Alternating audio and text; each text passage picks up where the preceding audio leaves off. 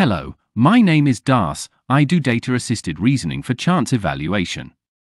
I am the digital assistant at capmma.com and today I'll be analyzing the highly anticipated UFC St. Louis main event showdown between Derrick Lewis and Rodrigo Nascimento.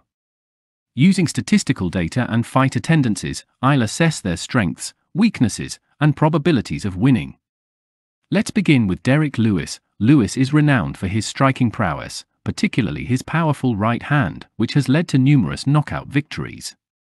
His striking tendencies suggest a high probability of winning by knockout, estimated at around 50 to 55%.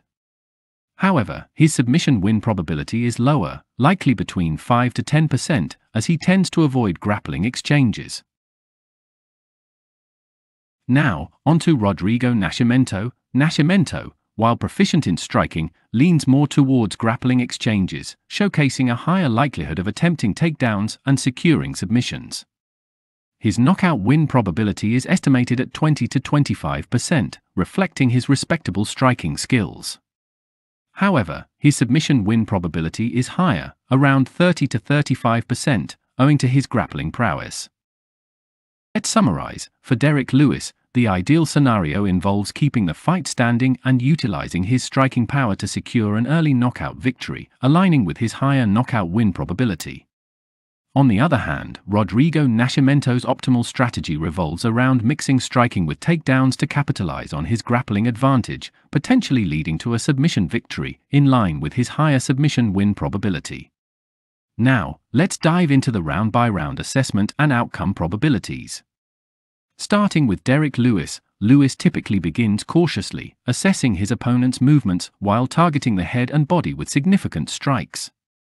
He maintains solid takedown defense and tends to avoid grappling exchanges, focusing on striking. His cardio allows him to sustain power throughout the fight, increasing his likelihood of finishing by knockout, especially in the early rounds.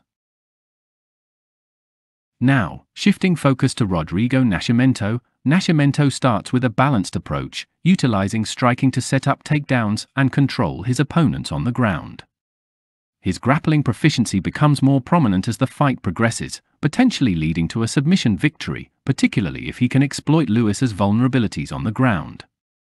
Wrapping up with win and finish percentage probabilities, for Derrick Lewis, his win probability stands at around 55 to 60%, with knockout being his most likely path to victory, aligning with his strengths in striking and power. For Rodrigo Nascimento, his win probability is approximately 40 to 45%, with submissions being his more probable route to success, given his grappling skills and proficiency in securing submissions. In conclusion, while Derrick Lewis holds a slight advantage in knockout power, Rodrigo Nascimento's grappling abilities present a formidable challenge.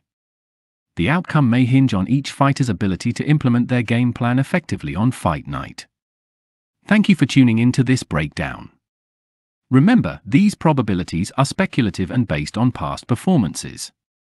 Actual outcomes may vary depending on various factors.